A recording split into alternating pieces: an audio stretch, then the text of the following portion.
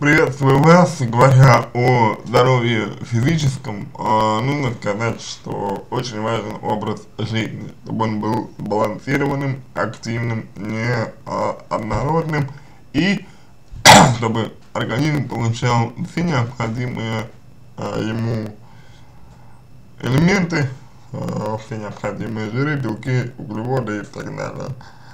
Э, вам нужно э, для себя самого определить, что именно вам не нравится в своем психическом, физическом состоянии, а, и после этого а, будет более ясно и понятно, как вам это самое здоровье поправить.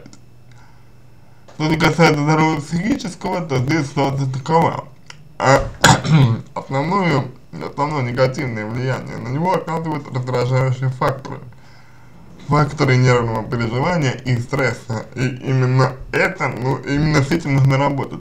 Именно это нужно исправлять, потому что именно эти моменты мешают вам ощущать себя психически здоровым человеком.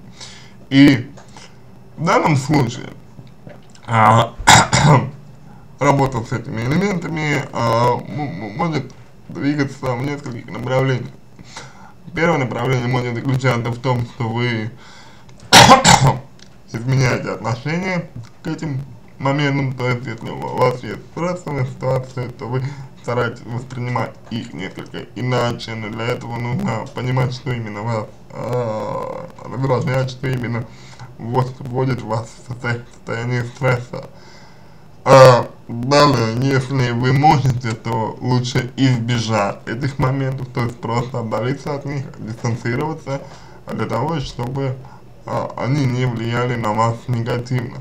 И, наконец, а, последним а, моментом в этом будет а, повышение количества критериев оценки этих э, ситуаций. Это очень интересный момент, согласно которому вы оцениваете а, те или иные события, происходящие в вашей жизни,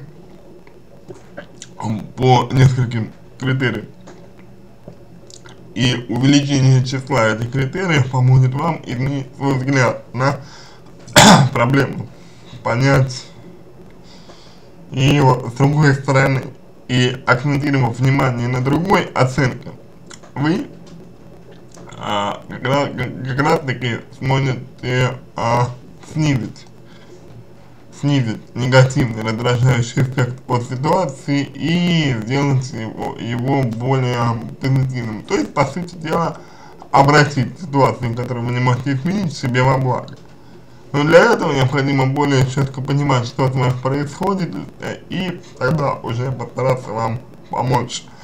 На этом все, надеюсь, что помог вам. Если какие-то вопросы остались, обращайтесь в личку, помогу. Если а, вам понравился мой ответ, сделайте его лучше, пожалуйста, буду благодарен. Пока желаю вам всего доброго и удачи.